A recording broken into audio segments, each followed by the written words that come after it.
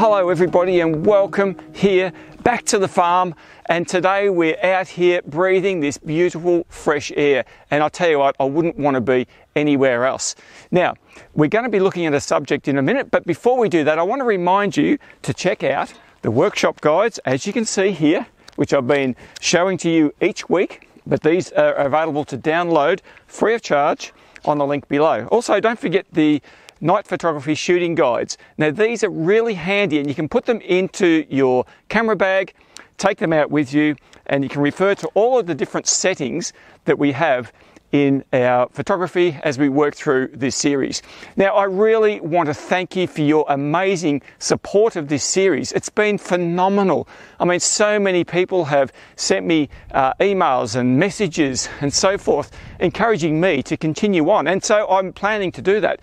Um, and as well as that, I really appreciate just that those of you who have financially contributed to the project because without you, I wouldn't be able to do this, that's for sure.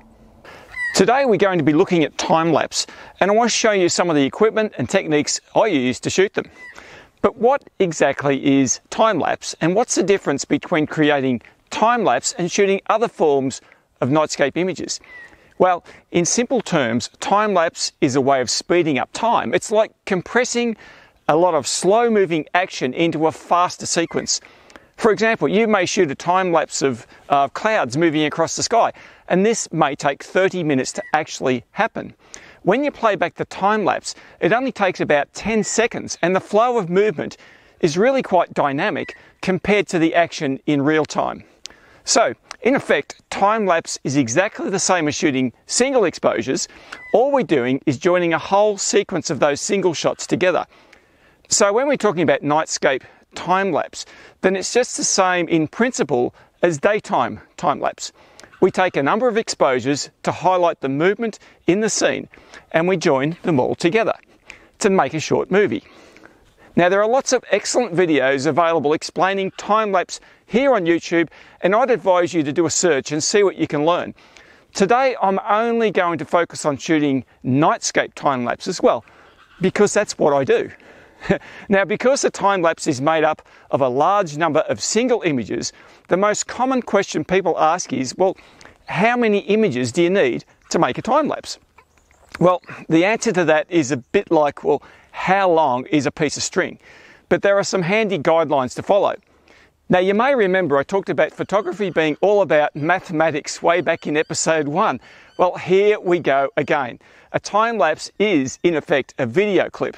Video has what is known as a frame rate. This relates to how many single shots make up a video sequence. Now, here in Australia, as well as Europe and the UK, we operate on the PAL television system and that's a standard frame rate of 25 frames per second. Now what that means is that for every second of video, there are actually 25 single images. So if you do the calculation, to get 10 seconds of video, we need 250 single shots. That's 25 times 10. Now, I don't want to make this more complicated than what it already is, but you folks over in the United States use the NTSC television system, and some bright spark way back in the day decided that 30 frames per second sounded like a good idea. I really have no idea why the whole world can't have the same video standard, but anyway, that's just the way it is. I'm sure you've seen the various frame rates available in your camera video settings. Now, these days you'll generally find 24, 25, 30, 50 and 60 frames per second available. Now, a lot of people get carried away about 24 frames per second because that was always used to produce major feature films. But for time lapse, it's really quite irrelevant. And I always use 25 frames per second for all my time lapses. Before we move on, I need to mention the higher frame rates of 50 and 60. These are essentially double the standard frame rate. And they're really useful for shooting slow motion footage in video, as you can slow down the footage to half the speed and you still get really smooth flowing footage. And that reminds me to mention that the more frames or single images you include in your time lapse, the smoother the final video will be. For example, if you shoot 250 frames and make the final video 10 seconds in length, that gives it a frame rate of 25 frames per second, as we mentioned earlier. But if we shoot, let's say 125 frames, so that's half as many images, and still make the video 10 seconds in length, then the frame rate will only be 12.5 frames per second. Now, this has the effect of making the video appear choppy and nowhere near as smooth as the video with more frames. And I'm sure you've seen plenty of videos like that. Now, of course, there are lots of other variables that come into it, such as the interval between the individual shots, etc. But we'll get onto that later. So, in summary, a time lapse is a collection of individual frames grouped together to create a video. It's as simple as that. When shooting daytime time lapse, we have to be fairly careful about the settings and intervals, etc. But when shooting night time lapses to show the movement of the stars, we have a lot more flexibility because the movement is actually so slow. My typical settings for my time lapses go something like this. If I'm shooting on a wide angle lens of about 14 millimeters or thereabouts, then I'll shoot 15 second exposures with a five second interval for about two and a half to three hours. Now this will give me about 400 single images, which translates into a 16 second video clip. So that's 400 divided by 25. To be honest, you don't need to know all the maths. All you need to do is remember the basic settings and how to connect it all up. Right now, I'm going to run you through some of the gear I use to shoot certain time-lapse clips and I'll talk you through my setup for each one. So come on, let's go and have a look. Okay, well our first example is here. Now, this is no surprise to you guys. You've seen this old hay shed many times in previous videos. But the reason I brought you here now is because I wanted to explain the setup that I use. This was a time lapse I set up a couple of years ago now, and I was pretty happy with how that one went. Now, I used my Nikon D750, which is here now, with the Nikon 14 to 24 f 2.8 lens. I had it set to 14 millimeters because I wanted the widest possible field of view. Now that brings me to one important point, talking about time lapses. Now, when you're shooting time lapses, television standard, by the way, is uh, a native 16 by 9 aspect ratio. Now, most cameras, these cameras included, shoot at a native 3 by 2 aspect ratio, which is squarer. So, in other words, to get that to play on my TV, I've got to crop the top and the bottom, or, or one or the other, or sometimes both.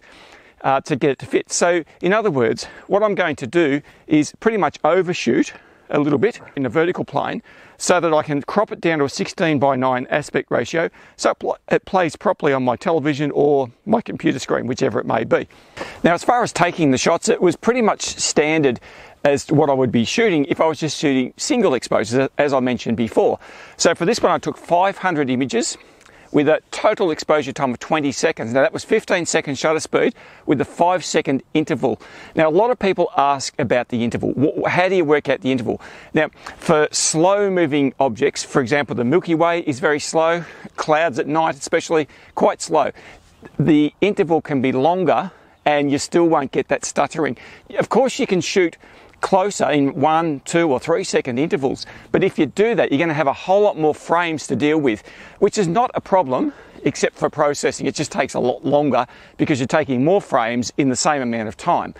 So I took 500 uh, and I was wrapped. Now I had a little bit of moonlight, just a crescent moon, and you'll see in the video in a minute where the moon, you can see it sort of setting down. I also put a low level light down inside the hay shed. At the time there was a little bit more hay in there, so it was backlit so that you could see the inside there, just on a really low level, which I always do for time lapse. And um, I was wrapped in that. I used, by the way, an intervalometer. Now, the intervalometer is what I tend to use most of the time when I'm shooting with these cameras rather than use the inbuilt uh, timer. And I set this up because they're so easy to use. You can make them uh, all the intervals and the shutter speed and everything else piece of cake. You just let it go. It's the same as what I use when I'm doing star trails. Now, one other thing that I remember using here was in July when I took this, pretty cold. So, and this is something I'm guilty of a lot, is that my lens fogs up. it, it, when it's cold weather, you know, you go away and you're doing 500 frames and you come back and, and about the last 200 are all fogged over. It's happened to me plenty of times. So in this case, I had a lens warmer on there with a battery pack under here. Good as gold, 500 frames, cold weather, no worries at all. And I'm pretty happy with how that one came out.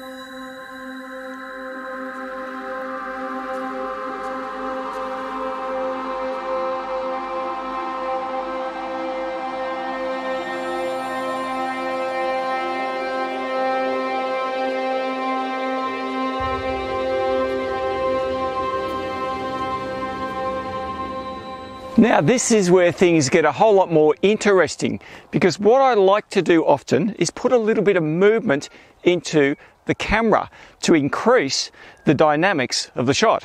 So in this particular example I'm going to show you, I use this slider. Now this is one of the cheapest sliders that you could buy and I don't even know if you can buy them anymore because I bought it off a guy in Melbourne locally here in Australia. He handmade them um, and it's just battery operated and it just slides across from one side to the other very slowly. It's not a move, shoot, move or anything like that. It just keeps continually going at a very slow pace. But I'm going to show you how I set that up.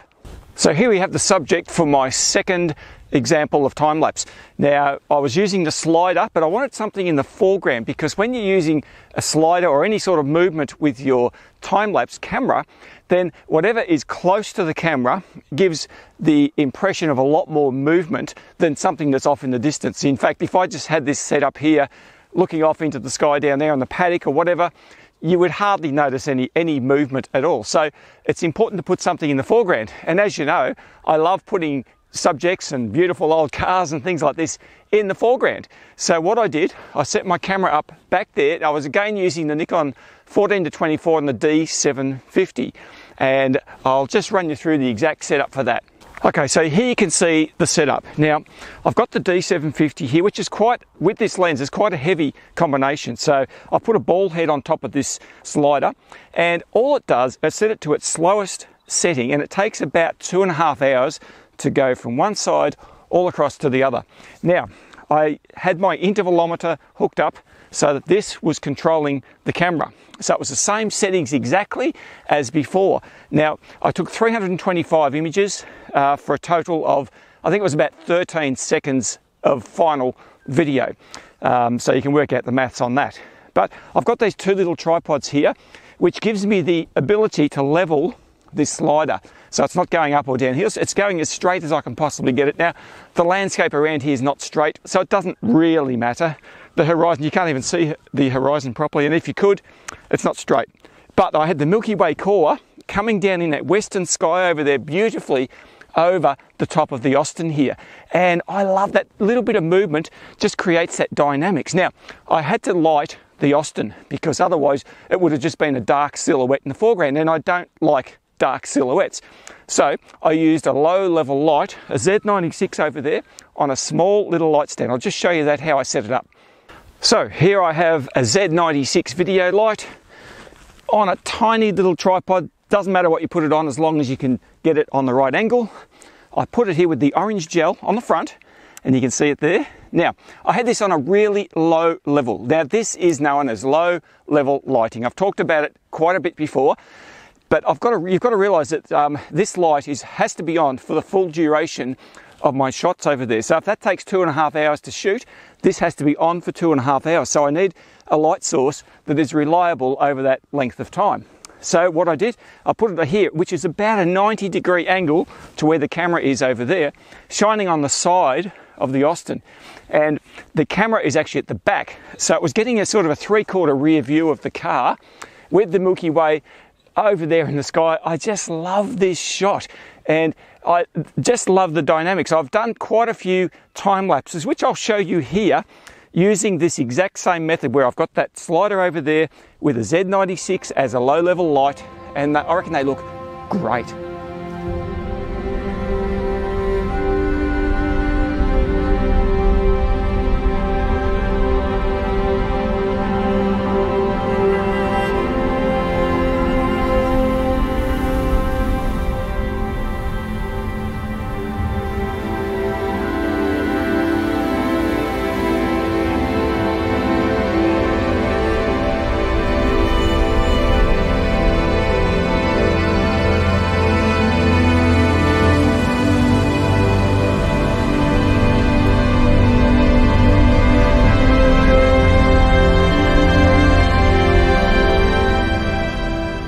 Of the more specialised uses of time lapse is to capture one that starts in the daytime and finishes in the nighttime. Now this is a day to night time lapse or you can do a night to day.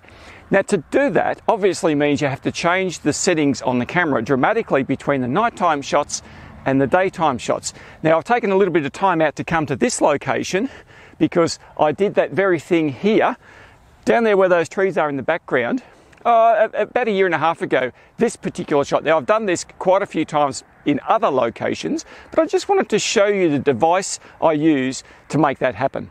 Now this is an intervalometer known as a time-lapse plus view. Now, I've showed you this on a couple of other videos, which I'll link here, but essentially what this does is automates the process of shooting day to night time lapse. So on this particular occasion here, I shot this beginning in the daytime, I was shooting one two thousandths of a second shutter speed at eight second intervals. So you'll see on the time lapse there's quite a lot of daytime shots because they're quickly spaced apart, one two thousandths of a second. And what happened, that ramped down as the sky darkened and the Milky Way came out. I eventually got to 20 seconds with a five second interval between each shot. I shot this on the Nikon D750 with the 14 to 24 f2.8. Got the Milky Way core coming down behind those trees in the western horizon. So the way it works is that we begin our exposures in the daytime at ISO 100 at the whatever shutter speed is necessary to get a good exposure. So you do that manually. You set it up manually as it is, just like you would with any other photograph. Then you set the parameters inside the device to give it uh, the maximum ISO that you want to go to and the maximum shutter speed and all those things. So those are all preset. And then what you do, you just start it off and let it go. And the camera actually uh, or this device uses the camera exposure meter to calculate the light level. So it adjusts the, the ISO and the shutter speed. Now I set it to keep the aperture at f2.8 all the way through. And the reason I do that is because when you start changing aperture, you tend to introduce a lot more flicker, which is not something that I like. Uh, it's harder to deal with. And I was pretty happy anyway because I could set the aperture at f2.8 and still get a decent daytime exposure uh, by changing the other parameters. So that wasn't the problem. But yeah, this is a great device, and this is made by a guy in the United States. You can look it up on the web page listed here. Uh, works really well. Uh, it does take a little bit of time to get used to its little idiosyncrasies and setting it up, but once you get it working, it just operates and ca- connects via USB. It's a really, really good device. Now, as you can imagine, the editing of images in this type of sequence takes a little bit more time, but there's a fantastic plugin which is designed by the same people who made this intervalometer called Timelapse Plus Studio, which is absolutely fantastic. It's a plugin to Lightroom, so you can do all of the editing within Lightroom itself, and that saves an awful lot of time. Now, a lot of cameras have internal time lapse mode built in, and they actually work quite well. Often they'll render it out as a movie in camera, which makes the process really quick and easy. Now, this is fine unless you prefer to do some editing to your final product. Some people will suggest using auto modes to shoot time lapse in camera, and I guess there are places where that can work quite well, especially aperture priority mode. But like everything else related to nightscape shooting, I strongly suggest shooting in full manual mode to get the best results. I mean, things like auto white balance are a no no in my opinion because you don't want color changes throughout your sequence. And also, if you enable auto ISO, you can really quickly get lots of exposure changes which manifest as flickering through the sequence. Oh, wow, you can see I'm back on the farm. There's mosquitoes all over the place at the moment. Anyway, so as you can see from what I've said, there are lots of things to consider before shooting a time lapse. So I think the best thing we can do is go and actually shoot one and see what results we can get. Now, I'm not too sure if we'll be getting much cloud cover tonight. Um, I actually like having some cloud in my time lapse sequences. It, it adds another dimension of movement across the frame, which I really like. A time lapse is all about movement, and the more movement we can capture, the more dynamic a final, final video will be. Okay, Let's go looking for a good location to shoot our time lapse and we'll just see what we can find. Okay, well I've been hunting for a location to shoot our time lapse tonight and I've decided on this spot down here by the creek. There's a fair bit of water and I like it. Face, there's a big gap over there facing towards where the Milky Way core is going to rise up. So I've got my time lapse slider back here. I'm just going to show you the setup because I'm going to do a slide and I'm using different equipment for this one to any of the examples I've showed you up to this point. So uh, yeah, I'll just run you through that right now. Okay, so this is a, a, well, it's a little bit of a precarious position I've got here. But anyway, I'll run you through what I'm doing here. So what I have here is an Edelkrone system. Now, to be honest with you, I have a love-hate relationship with this slider. Um, I first really came into contact with it when uh, I watched Alyn Wallace's video talking about Milky Way time lapse about a year ago, and uh, that was a fantastic video by Alyn, and he recommended this piece of equipment. Uh, the actual hardware is awesome; it's really, really good. I'm not a big fan of the app and the software. I have to keep updating it all the time. Uh, often you'll be out on location somewhere and you have to download an update for the app, and it just is a, a pain in the backside. But apart from that, it actually works pretty well. So the big feature of this slider is the fact that you set it onto a tripod in the centerpiece here and it extends further than the actual length of the rail. So you'll get about, I don't know, probably about maybe 30 inches of travel with this and the actual slider itself is only about 13 or 14 inches long. So that's pretty handy. It's good. So what i'm going to do here um, i haven't got my camera on here at the moment because it's, I don't, don't want to leave it down here. I've got to make sure this is very steady before I get it going later. Um, it has a motorized unit here, which actually mounts here. So it mounts on there like that, and that drives the belt. And then you program the app, as I mentioned, to make it sh- uh, move, shoot, move. So it's a proper move, shoot, move time lapse device. Edelkrone Slider Plus, I think it is, uh, version 2. So it's the latest version of their slider. And um, yeah, you need a pretty good rigid tripod. I've got it nice and low down to the ground. And the reason I've got it here, well, I've got the water in the foreground. I've got this tree here, just this dead tree. And over there, I've got a nice open sky. Now, what I'm going to do, I'm going to use at least one of these Z96 lights I might use more than uh, more than one because uh, I want to light that tree over there, but I want to sort of uplight it and backlight it, and I definitely want a little bit of light just kissing this tree. Not much. I just want to touch, and of course that has to be on for the whole duration of my time lapse, which I don't know. I'll, I'll probably set it to go for about three hours, I reckon. That should give me a nice amount of Milky Way coming up. Now, at the moment, we've got it's looking like a fantastic night coming. There is a little bit of cloud cover. And as I mentioned to you earlier, I like clouds for time lapse. Not full cover, of course, but just a little bit because that gives you that extra dynamic. So at the moment, it's about five o'clock, nowhere near dark yet, but it's not too far away. So I'm going to set this up and um, I'll get it working a bit later on. But I think what I'll do is I'll, I'll, shoot the time lapse and get it all done. And then after I've done that, I'll run you through the settings I used and show you everything in operation because it's going to be a bit easier to do once the pressure of actually taking the time lapse is done and dusted. That's assuming it works. uh, you never know. I might have to download some new uh, app or something. But anyway, I'm pretty happy. Gee, those mosquitoes, they're everywhere down here. It's the trouble with working around water. Man, oh man. Anyway, I'll go and set the lights up and then I might go and get something to eat. We'll come back and have a look at this. Now it's getting quite dark, but I did want to run you through this other example of a time lapse using this gorgeous little old trike. Now I've shot this trike a few times before, but I did a time lapse one night and I put my 35mm f1.4 Sigma Art series lens on the D750 and I opened that right open to f1.4, got the camera oh, only about two meters to basically fill the frame with the trike and focused on the trike. And my intention there was to throw the stars in the background out of focus and create that sort of bokeh artistic look. And it's not very commonly done with time lapse and I absolutely loved it. Now I just had a fixed tripod position. I had my camera really low down to the ground.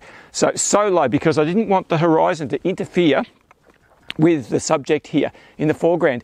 And it looks absolutely fantastic. I actually ended up taking 800 shots. Now that's an awful long time. It goes for about 32 seconds. And I remember my settings, I had 10 second shutter speed, ISO 2500 with a three second interval between. Now, the reason I, I, speeded those things up a little bit was just because of the focal length. It's a 35 millimeter lens. It's a little bit longer than the wide angles I was using for the other shots.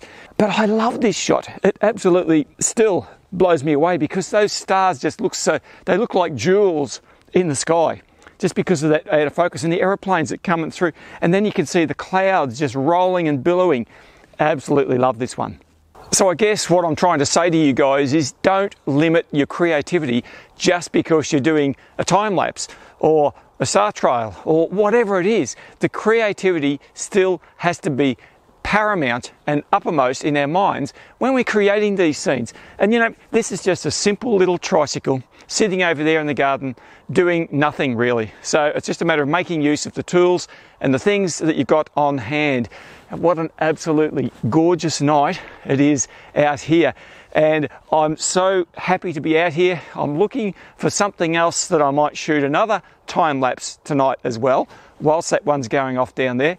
Not quite dark yet, so I've got a little bit of time just to have a look around and just see what we can create. So let's get going.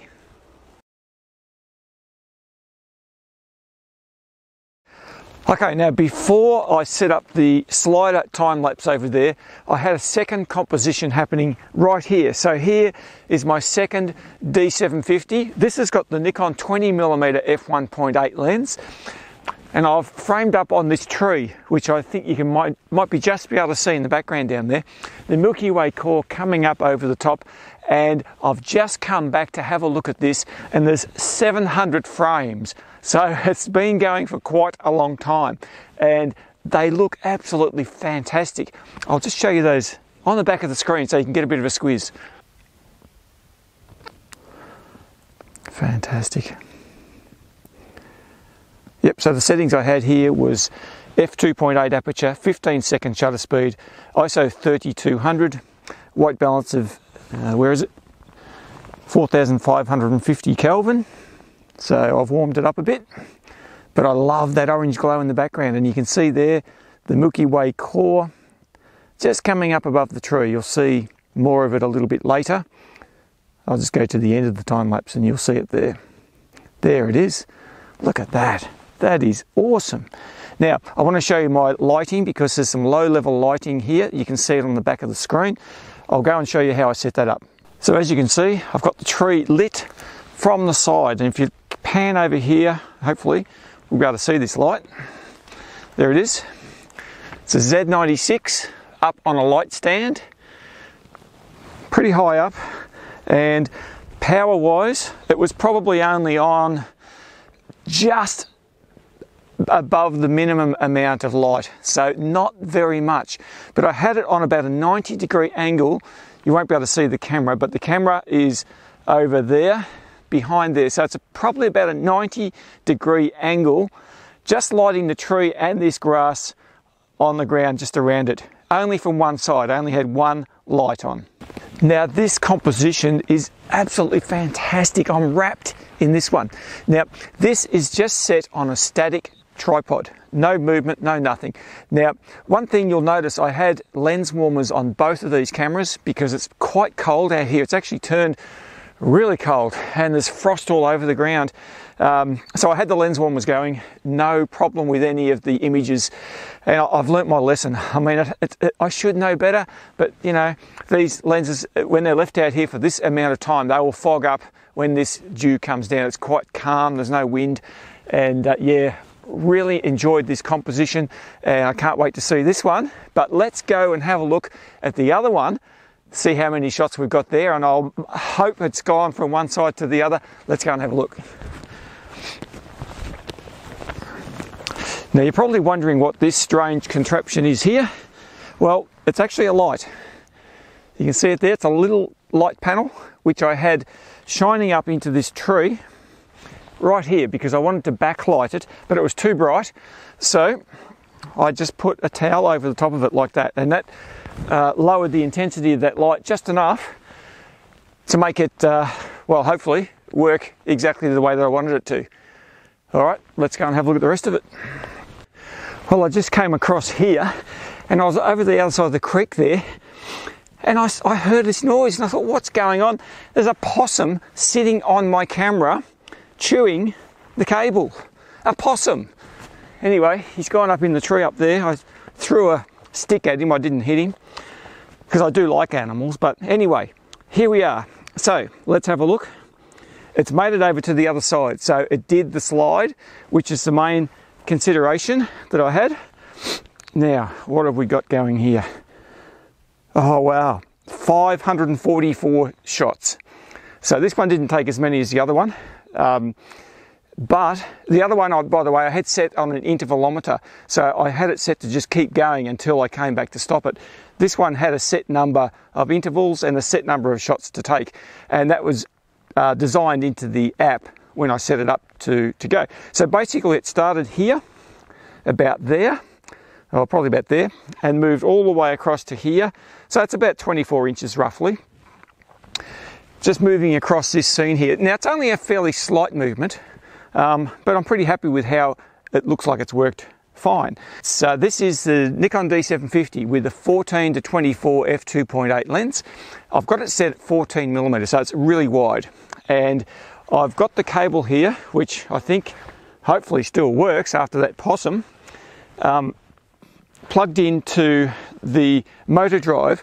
And this is, as I said earlier, a move, shoot, move device. So it just moves a little bit, shoots, moves again. And that's automa- automated via the app. Now I'll show you the app and I'll show you how I set that up. This went for 200 minutes. Um, I had the shutter speed set at 15 seconds. The interval I had at 22 seconds. So that gives it about somewhere between a five and seven second interval between shots. The reason I set it for 22 is because I just wasn't comfortable the other night. I had a bit of a play with this, had it set at five seconds, uh, and it appeared to move before the exposure had finished. Uh, it, it, looked okay, but I wasn't too sure about that anyway. Um, so what else have I done? I've set it at 25 frames per second and that gives me a calculation of 545 frames here. All right, so this is what the app looks like. Um, it, you basically set it so that you can create poses. So pose one and pose two. So pose one is where the slider there is at the moment and you can see it there. Now if I happen to click on the pose two, it will go over and you'll see the uh, slider move across to pose two. Okay, so there it goes. It's heading over to pose two because I just clicked it on the on the mobile app there. You can see it going across. So that enables you to set it up and to see what it's going to look like before you get out in the field, which I think is a pretty good idea. Okay, so and then we just tap time lapse and we go into those settings that I mentioned before. And there you can see the parameters that I set up that I mentioned to you just a minute ago the record time and the interval time, etc. And from there, all you do is press start down the bottom here and away it goes. So one of the good things about this setup is that you can go away with the phone. The phone doesn't have to be here. I was way up the other end of the property, nowhere near Wi-Fi or Bluetooth range, um, and it just keeps going because it remembers the settings that you put into it. So all in all, it seems to have worked quite well. You guys are going to see it before I do right here, but uh, yeah, and I made sure that my tripod was level. That's a really important step here because uh, th- there's a lot of weight on the end. This motor, once the motor and the camera are on one side of this tripod, there's an awful lot of weight. And I still am a little bit dodgy about that because this Nikon D750 with the 14 to 24 is a really heavy combination as opposed to um, this end, which doesn't have the motor hanging off. And I tend to be able to push it a bit further that way. Um, but anyway, it worked quite well. You can see I've used a lens warmer here on the, the lens just to keep it from fogging up because I've learnt my lesson as I mentioned to you before. This is a little bit different design. Uh, I've got two different lens warmers. This one, let me just get it off and I'll show you. Okay, there it is. This is a, a Firefly, um, Kendrick Firefly. Really good, just uh, a little bit of a Velcro on the end connects into a battery. Now, the only thing I don't like about this one is that it's got this crazy cable, which um, I don't know why they put an RCA cable on a on a device like this because that's an audio cable. So you've got to then create an adapter to make it work. But it does work quite well, and I plug it into one of these uh, jump starters for a car, and it works really well. Well, it appears to be flat now, but it's been going all, all night. Uh, yeah, it works really well, and I'm quite happy with how that's going. Now, one of the main considerations with this particular shoot was that I wanted to make sure those logs in the water had a touch of light on them, but not too much. So I didn't want to directly light them with anything. So what I did, I grabbed this Lume Cube and um, I just put it onto its lowest setting with an orange gel and I actually placed it in the grass here just so that I got a little bit of bounce back from that into the water. And it's it's like a second hand light so I can't dim it as much as I'd like to. Oh, well I think you can with the app but I already have my phone going with the other thing. I hate using apps for lights and everything else. I'd much prefer buttons. Um, but anyway it worked. And um, I had it there and I just got this little touch of light here which I thought worked pretty well then I had another light over there which is the, the main light for the sort of side front view and I'll just show you that one now so here we have our main light and this is pretty much the same setup as what we had before. Uh, just a Z96 video light on a low level, basically lighting up the tree. You can see a tree there in the background and also just a little bit of the creek which was around uh, in the foreground here. I don't know if you can see that. Just, just the grass and the creek over there. So that's what this light was doing and yeah, did a pretty good job. I reckon I'm happy with that. These things keep going for hours, and that's the big advantage of them because they're only on a very low level. Uh, so they don't need to be bright, they just need to have just enough light because remember, I'm shooting this at ISO 3200. Um, so yeah, it's, it's um, pretty high exposure, 15 second shutter speed, f2.8. Doesn't need to be much light. Now, as far as post processing these images into a time lapse, there are a lot of options. I generally use Lightroom to edit all the images the same, unless it's a more complex sequence such as a day to night. Now, I'll still use Lightroom to edit these, but they require another plugin called Timelapse Plus Studio to make sure the exposure blend is smooth. Now, I also use a brilliant piece of software called LR Timelapse to render out the video files. You can also render time-lapse videos straight out of Lightroom using the slideshow module. Okay, so now I'm going to show you the final sequences we've just shot using the techniques I've described to you today. I hope you like them.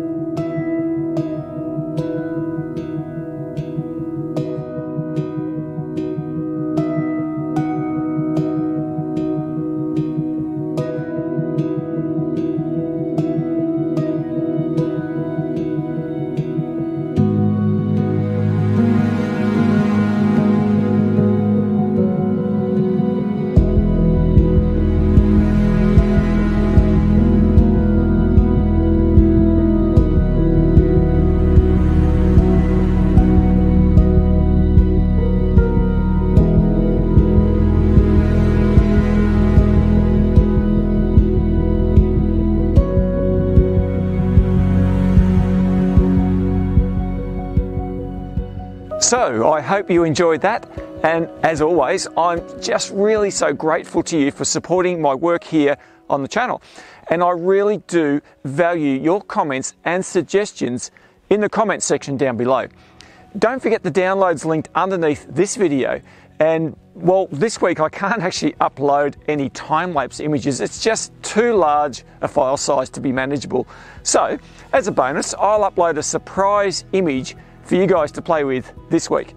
Anyway, I'll look forward to seeing you for another episode next time. I'll see you then.